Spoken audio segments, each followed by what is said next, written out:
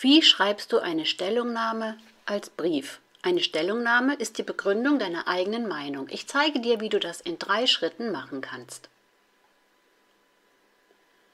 Schritt 1. Deine These.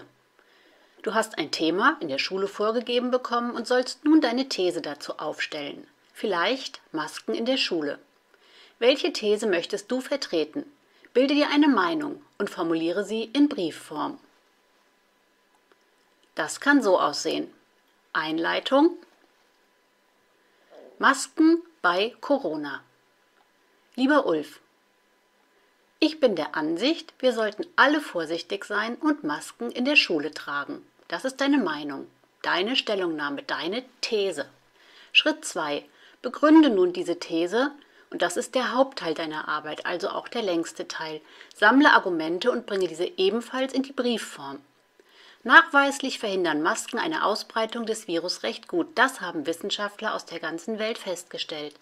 Sobald die Menschen nachlässig werden, zum Beispiel wenn sie Alkohol getrunken haben und die Masken absetzen, steigen die Infektionszahlen schnell an. Das können wir verhindern.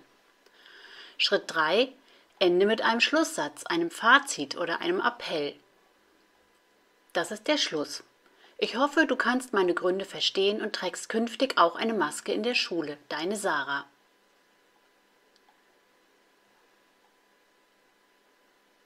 Und so sieht die gesamte Stellungnahme in Briefform aus.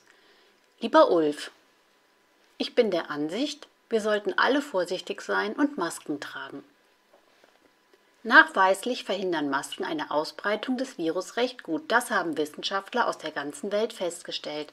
Sobald die Menschen nachlässig werden, zum Beispiel wenn sie Alkohol getrunken haben und die Masken absetzen, steigen die Infektionszahlen schnell an. Das können wir verhindern.